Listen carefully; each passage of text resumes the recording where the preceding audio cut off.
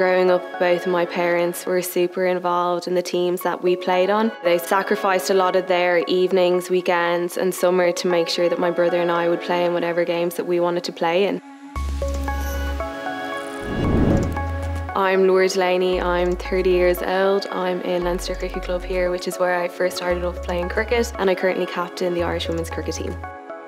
My dad is probably the biggest influence in why I started the game and, and why I still play. He's always on hand to give me throws or to look through any of my footage or just someone that I can speak to and to have someone that has a sound knowledge of the game but also knows me incredibly well and, and how I work is a brilliant support. It's physically demanding as is any sport I suppose. I had a hamstring injury that I picked up and it ruled me out of the first round of the ICC Championship that was at home here in Ireland against South Africa.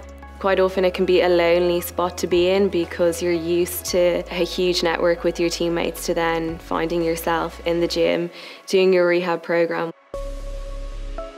Working with our sports psychologist made me focus on things that I can control and, and areas of my game that I don't always need to be physically involved with. I think it's a massive commitment and sacrifice and I don't think it's just for professional athletes. I think for amateur athletes that are playing sport at any high level, you have to dedicate so much time and you miss out on whether it's a family wedding or a family occasion or it's a friend's wedding, you miss out on a lot of life events.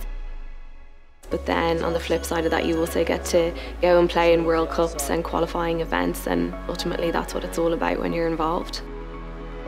There's been lots of changes within the game. I suppose going back to when I first started, we didn't have a full-time coach and we didn't have a lot of the resources that we have now. Certa have been brilliant in trying to increase the visibility of the women's game and create more exposure around the game. And the more that we're out there, hopefully the more people will get to know us and they'll be more invested in us as a team and our performances.